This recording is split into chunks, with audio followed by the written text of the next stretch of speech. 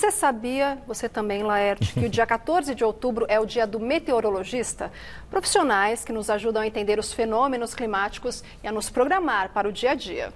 Pois é, é mais uma vez, é, são eles que auxiliam a Fernanda Azevedo a nos contar como fica o tempo aqui em São Paulo e também no restante do país esta semana. Será que o calor continua?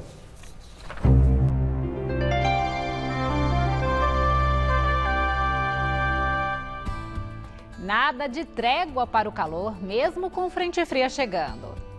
A gente já vê o mapa do Brasil bem mais encoberto amanhã, com bastante nebulosidade no sul.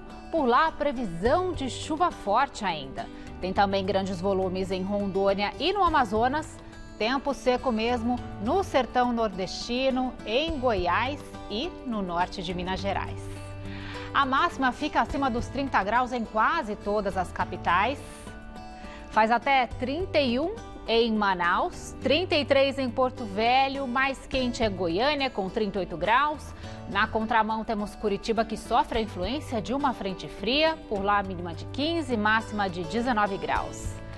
Vamos agora ver como fica o tempo aqui em São Paulo? Tem uma frente fria se aproximando do estado, o tempo muda mais amanhã, principalmente na faixa leste, que recebe os ventos marítimos. Na Baixada Santista, inclusive, deve chover o dia todo. Nas outras áreas, o sol vem e chove em áreas isoladas. Em Santos, faz 24 graus de máxima. Pode chover também na capital, mas não refresca muito.